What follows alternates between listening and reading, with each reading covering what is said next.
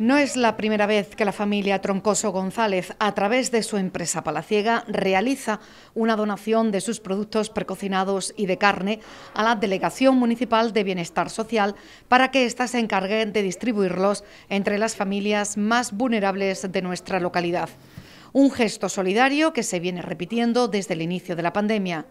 En esta ocasión, Precocinados Lara ha donado dos palés entre bocaditos de pollo, hamburguesas y menestra alimentos que se repartirán en los próximos días por el área de bienestar social entre las familias que en nuestro pueblo lo están pasando peor. Recordar que Congelados Lara es una empresa de los Palacios y Villafranca que además de poner su producción de elaboración propia en las tiendas y establecimientos locales, también lo distribuye a nivel nacional en hipermercados tan importantes como Carrefour o Macro.